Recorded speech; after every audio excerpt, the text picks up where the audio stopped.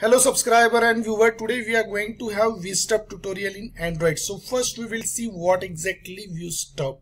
So ViewStub it is invisible to the user. It is invisible to the user because it is having zero layout area.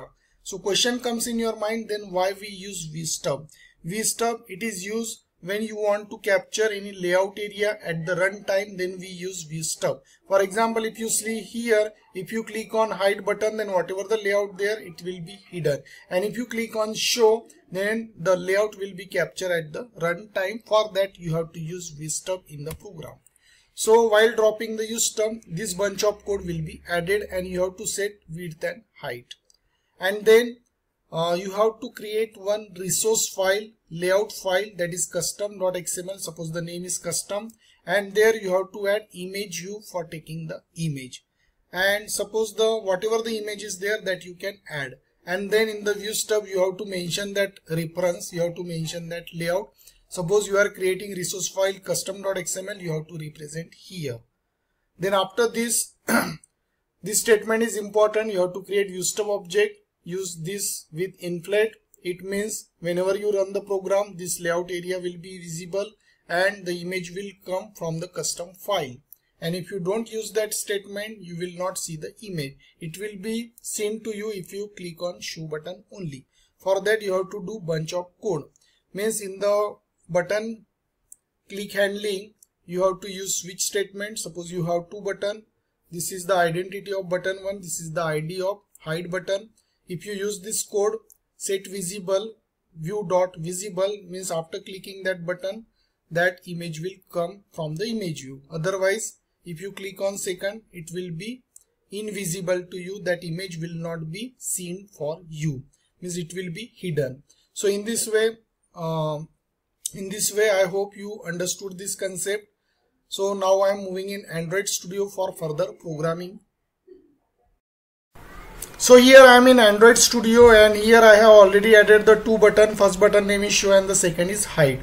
Then after that you have to go in the layout and here right click select new option select the layout resource file and here you should write custom you can give any name and here I am selecting relative layout after that click on ok then this custom file will be added then after that here you should add the image. I have already added the image into drawable that is the e.jpg then you have to add image view here.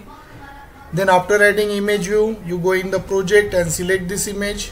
Then it will be added here. Then after that you should go into your activity main.xml and here you have to search view stub here then view stub is there. You have to just drop it into your project. It will be invisible to you and here you should select custom your file. So it will be invisible because it is having the zero layout area. So go into the text side. Here it is wrap content. You can add match parent no problem. So this is the match parent. Then after that uh, here this part is okay. Margin start from margin start I want 0 to dp then after that from margin top I want 12 dp okay that's it. Then after this setting after this coding I am going into the activity file now.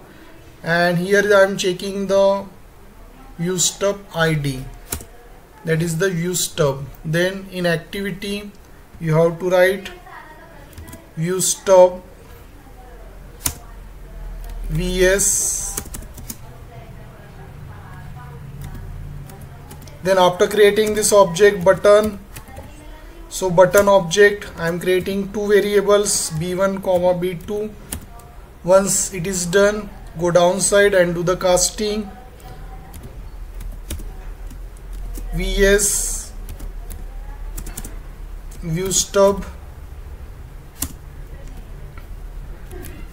find view by id r dot id dot view stub then after this b1 equals to button find view by id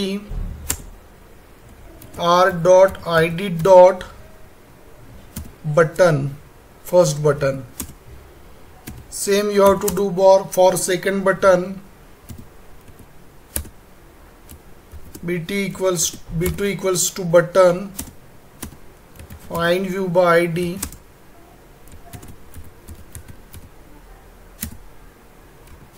so casting part is over.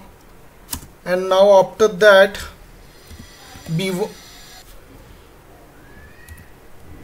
b1 dot set on click listener this. Here the error will come alt enter. Select this method. Same way I have to add b2 b2 dot set on click listener this. So after doing this you have to use here switch statement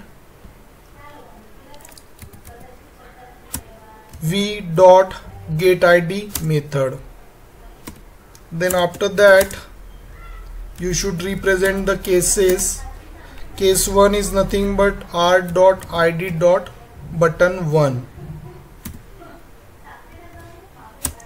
s dot set visible set visibility.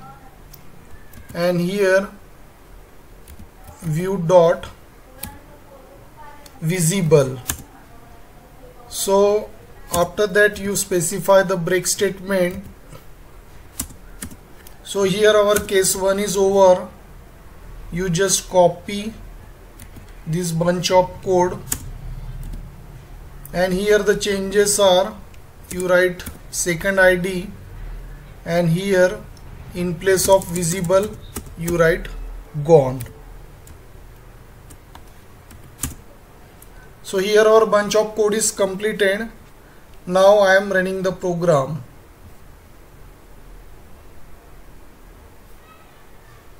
So here our app is running okay? And if I click on show that image will come. If I click on hide it will be hidden. So here one statement suppose if you use then um, then at the beginning time only at the beginning only you will be able to see the image.